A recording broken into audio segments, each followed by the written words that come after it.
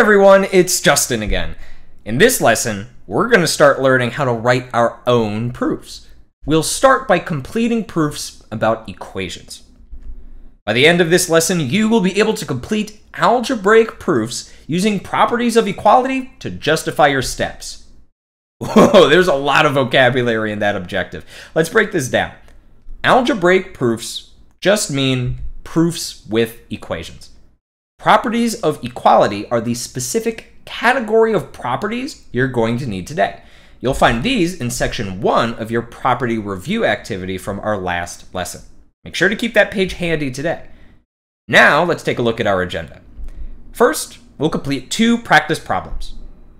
And actually, that's it. Before we jump into any proofs or properties of equalities, let's start by solving the equation here. Pause the video now and solve for x. Did you subtract 2 on both sides, multiply by 6 on both sides, and then add 4 to both sides to get a final answer of x equals 22? Well done! You've been solving equations for a long time now, so this is a great place for us to start looking at problems through a new lens. Here we have the same equation as before, but now our problem says that given that x minus 4 over 6 plus 2 equals 5, prove that x equals 22. Anytime you're told that you need to prove something, that means you can't just solve it and present an answer. You have to provide a reason that justifies why you're allowed to complete each step in your problem solving. The purpose of a proof is to be able to show without a doubt that your answer is correct. The most commonly used structure for proofs is called a two-column proof. You saw this in the peanut butter and jelly sandwich activity earlier in this unit. It's called a two-column proof because you organize your work and your justification into two columns. We label the column on the left as statement. This is where we'll put all of our math work. I'm going to number the lines of my proof just to make them easier to talk about. We could separate each line to make it easier to read through as well. The very last statement in this column should always exactly match what we were told to prove in the problem. See how we were told to prove that x equals 22? And our final statement here is x equals 22? Those match. The column on the right gets labeled reason. This is where we'll put our justification for each step. Each of our reasons should be either given or a property. For now, you have all of the properties you need in your property review activity. Okay, let's take this one step at a time. My first statement is that x minus 4 over 6 plus 2 equals 5.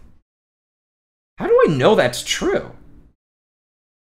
Well, it's because this was given to us in the problem directions. So our reason is just given. For our next statement, we have that x minus 4 over 6 equals 3. How did we get here from the step above? We had to subtract 2 from each side. What property of equality tells us that we're allowed to subtract something from both sides of our equation? Check your table from the property review activity if you need. the subtraction property of equality. The next statement is x minus 4 equals 18. Well, how do we get here from the step above? We multiplied both sides of the equation by 6. So which property of equality tells us we're allowed to multiply something to both sides of an equation? The multiplicative property of equality. And now we're up to the last step. Our final statement says x equals 22. Can you tell which property of equality allowed us to get here from the prior step? We added 4 to both sides, so that means we used the additive property of equality. And that's it. You've just completed your very first proof. Let's try one more from start to finish. Here we have given that negative 27 equals 3 times r minus 7 prove that r equals negative 2. There's that word again. prove. That's our signal to set up a two-column proof structure. I can label my columns as statement and reason. And just like last time, we could start with our original equation as our first statement. And how do we know we can use that equation? Because it was given to us. Last time we solved the whole equation first and then went back and gave our reason for each step. You can do this one the same way. Or, if you want to try it, you can stop after each step to put in the reason right away. It's up to you. Go ahead and give this proof a try. If you get stuck, look back at the last one we did together and follow that model. I'm going to write this out one line at a time just so that you can see both methods today. Hmm. From here, I think I distribute that 3 to get negative 27 equals 3r minus 21. And what property of equality tells me that I can do that? The distributive property of equality, because we distribute it. Next, I would add 21 to both sides to get negative 6 equals 3r. Since I added to both sides, that's the additive property of equality. Next, I'd divide both sides by 3 to get negative 2 equals r. And since I divided on both sides, my reason here is the division property of equality. Huh. I'm kind of done solving my equation, but this is not what I was told to prove. My last statement needs to match what I was told to prove exactly. So my next statement needs to be flipped around to r equals negative 2. And that's definitely correct, but which property of equality lets me switch an equation around? The symmetric property of equality.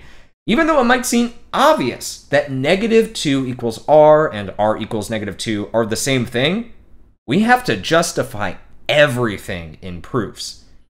It's possible that you solved this equation differently than I did, and that means that your proof might look different. That's totally okay. For example, maybe instead of distributing 3 at the beginning, you could have divided both sides by 3 to start. Then you wouldn't need the distributive property of equality at all, and your proof could be only 4 lines instead of 5. Just because this version is shorter doesn't necessarily make it better, especially if it's only one or two lines difference.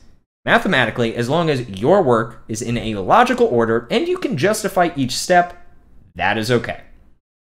Of course, if a proof can be done in four lines and yours is 20 lines, well, maybe that's a sign that it could be helpful to brush up on your skills to make yourself more efficient. Now you can complete algebraic proofs using properties of equality to justify your steps. How do I know this to be true? Hmm. Well, you successfully made it to the end of the teaching video. For this lesson, and for most in this unit, your practice will be part multiple choice here on the website and part written out in your notes template PDF. This time, the written practice comes first. So make sure you do the written practice before moving on to the multiple choice practice on the website. See you next time. Hey.